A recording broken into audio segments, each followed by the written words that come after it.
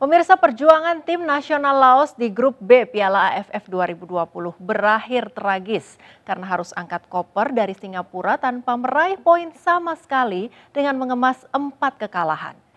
Di pertandingan terakhir, Laos digilas Kamboja dengan skor telak 0-3. Berlaga di Bisham Stadium, Laos memulai laga dengan tempo lambat. Namun Kamboja yang sedikit mendominasi akhirnya mampu unggul setelah Chan Fatanaka mencetak gol di menit ke-32. Chan Fatanaka kembali mencetak gol kedua di menit 43 dan menutup babak pertama dengan keunggulan 2-0 untuk Kamboja. Gol Sieng Chante di menit 74 melengkapi kemenangan Kamboja atas Laos menjadi 3-0 yang bertahan hingga pertandingan berakhir. Dengan hasil ini, Laos menjadi juru kunci grup B dan harus angkat kaki tanpa meraih poin sama sekali hasil dari empat kekalahan.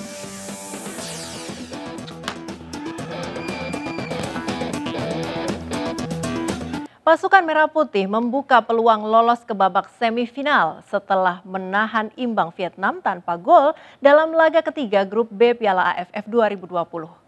Hasil imbang ini membuat Indonesia tetap bertahan di puncak klasemen grup B Piala AFF 2020 berkat raihan 7 poin dari tiga laga.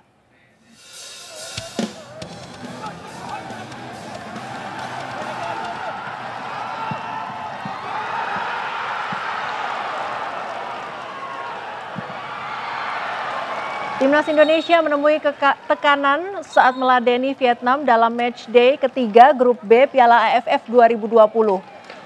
Berlaga di Bishan Stadium Singapura, pasukan Merah Putih menurunkan formasi kejutan dengan menyimpan gelandang sekaligus Kapten Evan Dimas di bangku cadangan. Vietnam yang berusaha mengambil inisiatif serangan terus mengurung pertahanan Indonesia hampir di sepanjang pertandingan. Namun tak ada satupun usaha yang membahayakan gawang tim Indonesia. Berbagai upaya untuk membongkar lini pertahanan Indonesia yang dikawal Rizky Rido dan Fahrudin Arianto tidak membuahkan hasil. Skor imbang 0-0 pun bertahan hingga wasit meniup peluit panjang tanda berakhirnya pertandingan.